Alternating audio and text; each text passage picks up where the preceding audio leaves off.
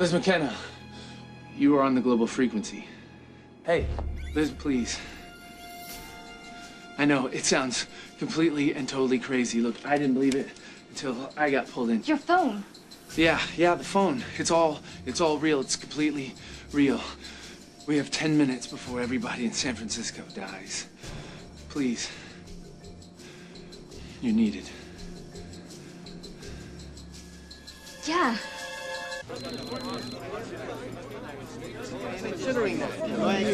No, no, no, no, no. Superstring solution in these conditions does not yield 39 dimensions. 955. Dr. Katrina Finch, you are on the global frequency. How bad is it? I'm Miranda Zero. And you are on the global frequency. The global frequency is real. We are an independent covert intelligence group. Yet somehow, you've just picked up one of our phones. I'm Aleph, the nice one. This is the cool part. Welcome to the global frequency.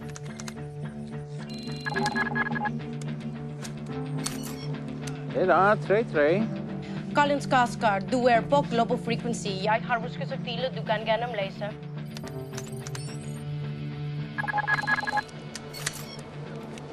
Nine six eight. Audrey McGovern, you're on the global frequency. I have satellite data for you to look at.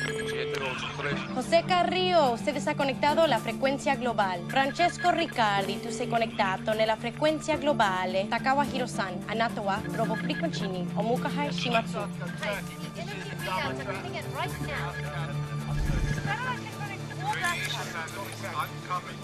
I have Nadia Kroshin from Small Links, Nadia Track Jenkins, or as we know his Russian name. Puchekin. Puchekin was Soviet army. Nothing special until his file notes. He tested high on a Graf Zimmer test. He disappeared after that. Uh, if I may, Uh, Dr. Kane, medical historian, retired. Dr. Elias Graf Zimmer was disbarred after intrusive medical experiments attempting to prove the existence of psychic phenomena among African Americans in the late 1950s. Intrusive. Uh, he drilled into their heads.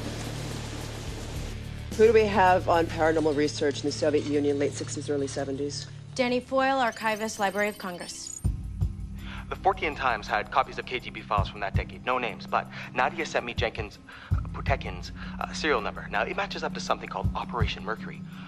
Operation Mercury was a major part of the Soviet Army's psychic research program. This guy's. No, it's it's true. During the 1970s, the Soviets had as much money invested in psychic research as they did their space program. Everyone, thank you. You know how much this means. Everybody knows the agencies that are supposed to protect us never talk to each other. So, some of the best, scariest intelligence agents solve the problem. Now they spy on the spies. They get all the pieces, they put them together, and they stop whatever's coming, whatever the cost. But who are these people? I mean, Miranda knew with all the secret horrors out there, no one group could solve every problem.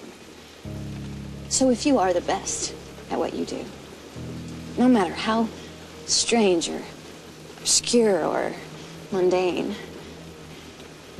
one day Miranda Zero appears on your door and hands you the phone. That means that what you do will save lives. You are needed.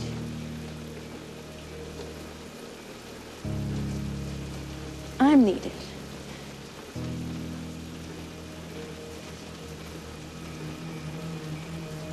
You never know who's on the global frequency. There's an automatic lockdown timer. Once the front door opens, all that security has to be bypassed in less than 60 seconds. Well, this should be very interesting. I can hack it. No need. I left a back door code. when I designed it. What is it? Your birthday. Oh, that's so sweet. 55 seconds.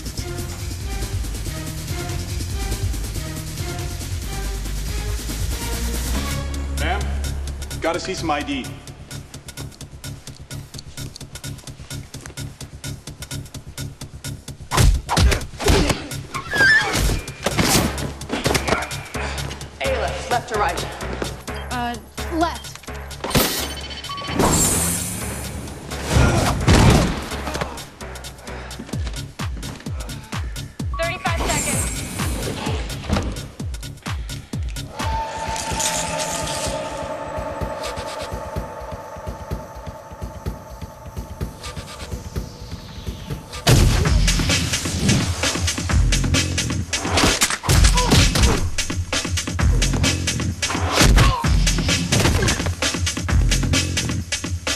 Uh, Aleph, there's a keyboard access to the retinal scanner.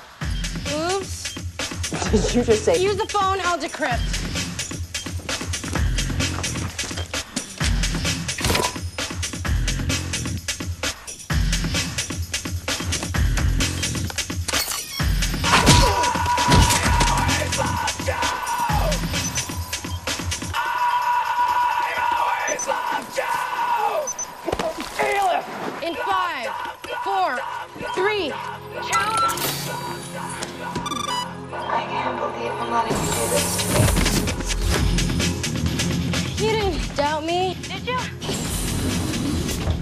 General Purcell, we have an unauthorized entry. Sector 6, level 3. Shoot the hell out of it.